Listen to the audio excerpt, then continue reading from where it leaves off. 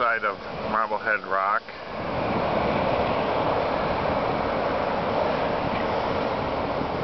I'm in my yacht tender. It's a tender, not a dinghy. Have to correct Wojcik on that.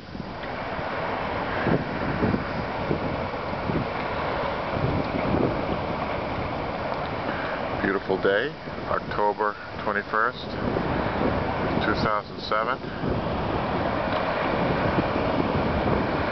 This is probably one of the only movies that will be taken to the back of Marblehead Rock today. So, if you're into keepsakes, I would hold on to this one. It's a keeper. I gotta sign off now because I'm gonna cast for some more fish.